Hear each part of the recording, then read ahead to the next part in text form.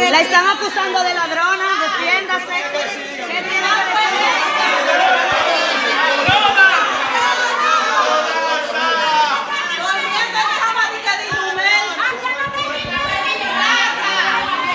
CCR Equipos Pesados a nombre de Carles Cruz y su hijo Emmanuel Rivera. Ahí era que caían los cuartos que nosotros depositábamos en dólares en el Banco Popular. En esa cuenta, aparte de la separación de 5 mil dólares, pagaba todos los meses 1.200 dólares durante dos años y medio, desde el mayo 2021. Era un fraude que ya no le iban a entregar ese apartamento. Nosotros ya teníamos la sospecha porque pasó un año, pasaron dos, pasaron tres y no veíamos que el proyecto avanzaba. Entonces eso nos hizo eh, eh, dudar, pero manteníamos la esperanza. Y luego cuando Nuria Piera hizo el reportaje y Somos Pueblo también, que agradecemos su aportación en este sentido, ahí es cuando nosotros nos enteramos que ese sacrificio de dos y tres años de casi 300 familias fue todo un entramado para esta Bueno, yo represento a mi hermano que vive en España. Entonces, él hizo una inversión de 37.500 dólares. Eh, fue pagado por varias cuotas. Y nada, aquí lo que se espera es justicia y que ellos devuel- devuelvan ese dinero que con tanto sacri- sacrificio las personas han buscado la manera o la forma de tener un hogar. Mi nombre es Lorenza Santana y este, yo llegué a este desde marzo, ya ellos tenían problemas, pero a mí me cogieron en marzo del 23.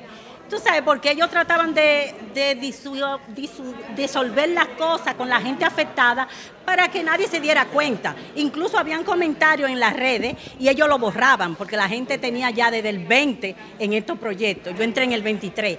Y fue tanto la estafa conmigo que a mí me vendieron un apartamento que otro muchacho lo tenía porque yo entré, nosotros hicimos un grupo en WhatsApp y el muchacho, tú sabes, dice, ah, yo estoy en un apartamento 4B. Y yo dijo, 4B, pero ese es mi apartamento. O sea, ahí de una vez, el mismo apartamento, en el Rivera Tower. Yo pagué 28.500 dólares. Entre mis hijos y yo tenemos invertido eso. Orquídea Ortiz y a mí Mario Pérez, él no vendió. A mí me vendió en 6 millones 650 mil pesos que fue pagado el apartamento. Y a Orquídea Ortiz le vendió en 6 millones 300 mil.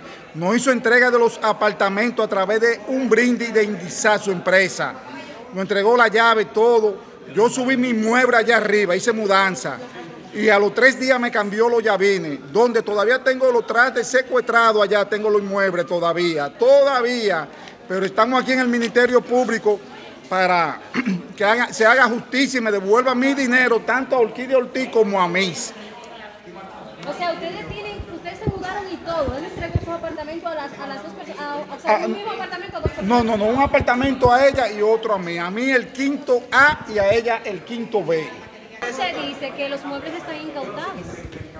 No, no he tenido más acceso a subir porque él cambió los llavines. Me cambió los llavines, miren la llave ahí. Mario Pérez. Nosotros no compramos una, no una ganga ni algo barato como algunas personas quieren especular. Nosotros compramos al precio del mercado actual en ese momento. Él nos vendió en 6 millones 650 mil pesos. Entonces, eh, nosotros no compramos una ganga. Lo que pasa es que ese señor tenía el único eh, proyecto que construyó, que era Root Tower, con la intención de enseñarlo a la diáspora para que entendieran que su proyecto iban a tener tales terminaciones.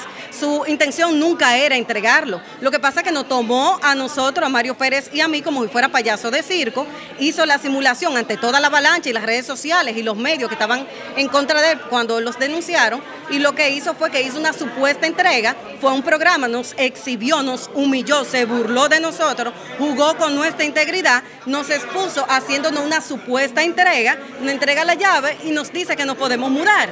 Entonces, cuando nos vamos a mudar, nos ve, eh, Mario llegó a, entrar a algunos inmuebles, nos damos cuenta de que no podemos acceder a los apartamentos.